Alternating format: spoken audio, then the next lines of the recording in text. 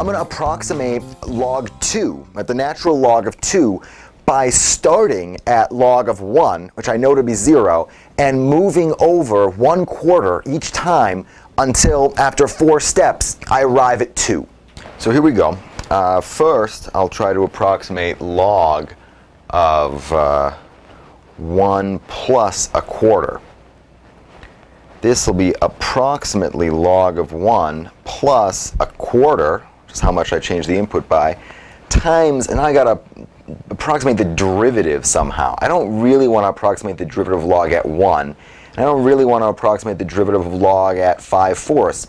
That'll be an over and an underestimate of the derivative over the whole interval. So I'm going to approximate the derivative by evaluating the derivative in the middle of this region at uh, 1 plus an eighth, right? The derivative of log is 1 over, so this is the derivative of log in the middle of the interval between 1 and 5 quarters. All right, so let's keep calculating here.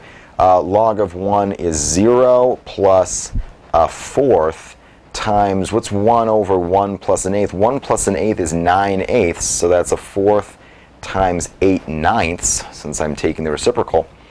And that is 2 ninths. So log of 5 fourths, according to this, is about 2 ninths. And now I just keep on going, right? Now I want to approximate log of 1 plus a quarter plus a quarter. Well, that'll be about log of 1 plus a quarter, which is what I just calculated, plus a quarter times, now I got to write down the derivative. And again, I'm going to pick the derivative in the middle of this interval. So I'll evaluate the derivative at 1 plus 3 eighths, which is right in between 1 plus a quarter and 1 plus 2 quarters. I approximated log of 1 plus a quarter to be 2 ninths plus a fourth times, what's this, 1 plus 3 eighths? Well, that turns out to be 11 eighths, but then I'm taking the reciprocal, so I'll write 8 elevenths. So I've got 2 ninths plus 2 elevenths. That works out to 40 99ths. So that's approximately log of 1.5. Now just keep on going. What's log of 1 plus 3 quarters? Well, that should be about log of 1 plus 2 quarters plus how much the input changes to go from here to here, which is a quarter, times the derivative. And now where do I want to approximate the derivative? I'll approximate it in the middle of the interval again. So it'll be 1 over 1 plus 5 eighths. Well, what's this? Uh, log of 1 plus 2 quarters, log of 1.5, I just approximated that to be 40 99ths plus a quarter times 1 plus 5 eighths, that's 13 eighths. The reciprocal is 8 thirteenths. So this is 40 99ths plus 2 thirteenths, which, oh, this is going to be a, a huge number. It turns out 718 over 1,287. And that's approximately log of 1.75. Now, here we go. What's log of 2?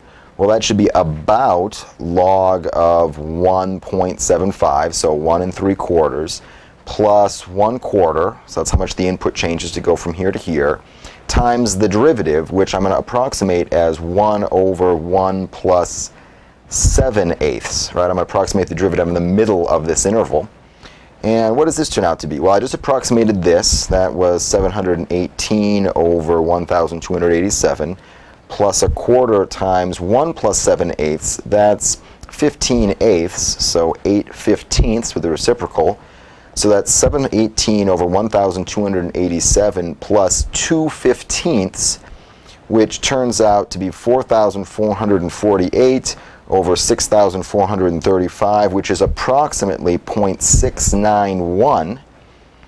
That is really great because log 2 is actually uh, closer to 0.693 but 0.691 is awfully close to 0.693 and it's really fantastic that you know just on paper right I'm able to get such a good approximation to log 2 let's use this same Euler method or more precisely the midpoint method to approximate log 3 I'll use a little bit bigger step size here to save us some time. Now we can play the same game to uh, to approximate log of 3 Let's first uh, do log 2 by writing log 2 as log 1 And I move from 1 to 2 by adding 1. So I'll add 1 times the derivative. And again, I got to pick where I'm going to evaluate the derivative. I don't want to evaluate the derivative of log at 1 or at 2. I want to do it in between. So there'll be 1 over 1 plus a half.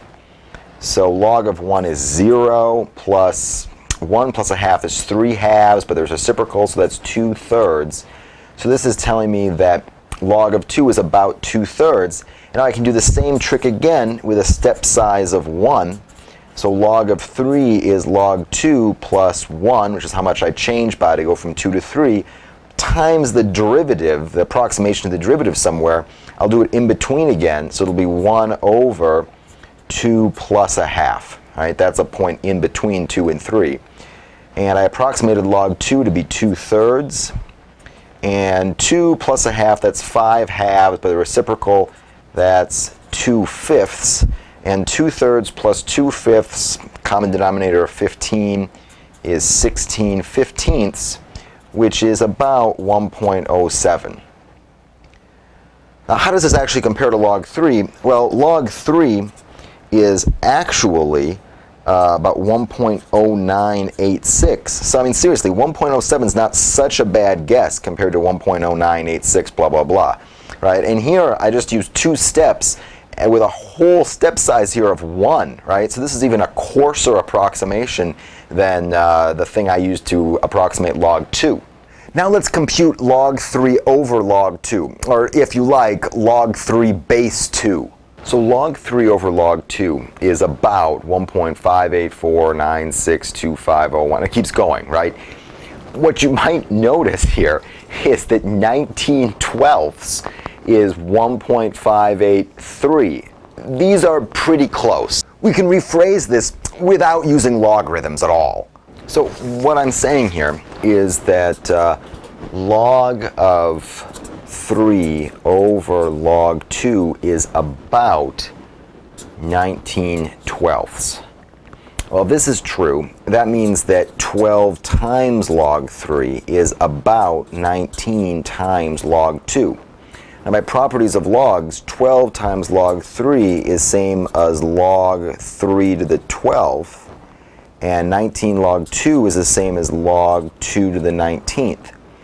Now, if these logarithms are approximately equal, you'd think then that 3 to the 12th would be approximately 2 to the 19th. And yeah, sure enough, 3 to the 12th is 531,441, and 2 to the 19th is 524,288. And these numbers aren't so different.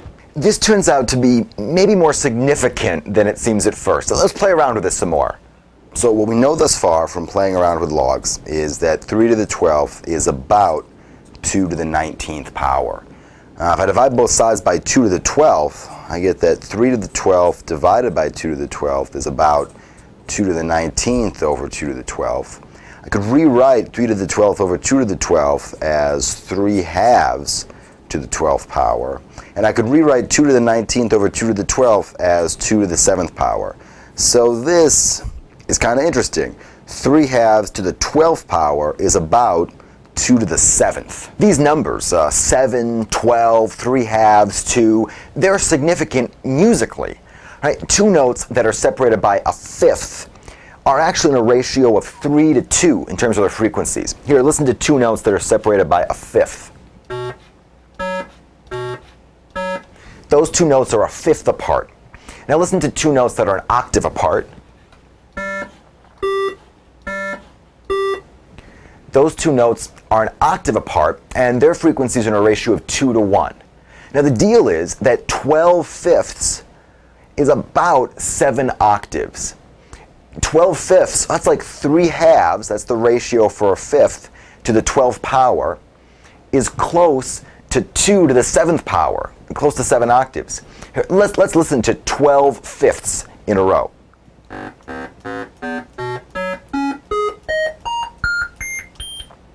So that's 12 fifths. And now listen to 7 octaves, starting at the same note.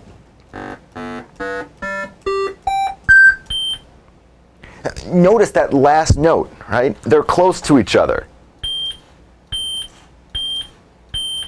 And that's really an, an audio proof that 3 halves to the 12th power is almost 2 to the 7th power.